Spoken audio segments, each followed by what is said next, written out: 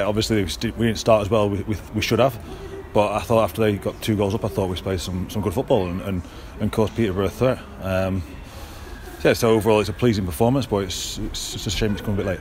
Given all the circumstances in terms of COVID, one player testing positive, three having to self isolate, does that make it even more impressive?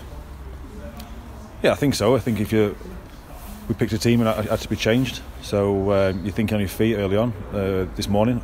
Um, but I thought the players responded really well, and I, I questioned them a few times, but you've got to give them credit where credit's due today. I thought it worked really hard, and I thought the, application was bang on again, um, you won't get carried away with the result because it's one, one, it's a point. Um, but I've just told the players in there, if you go and apply yourself like that for the last final three games of the season, you finish the season on a high, and it continues into next season.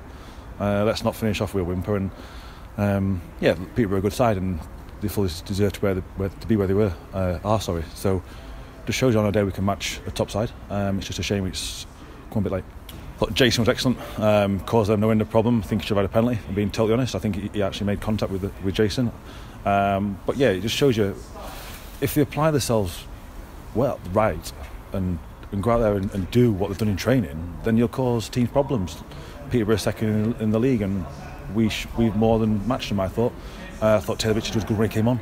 Omar Faye led the line well. We came with a game plan um, to, to, sit, to drop off and allow them the ball. Um, I think you go, go toe to toe with Peterborough, you get picked off because of good football inside, and, and, Darren's got them um, playing good football. But we came with a game plan, and we, we knew that they'd make, try and force passes, make mistakes, and we, we picked them off. And uh, we have had a couple of uh, one v ones, um, three v twos down there, but just the final pass us down a bit.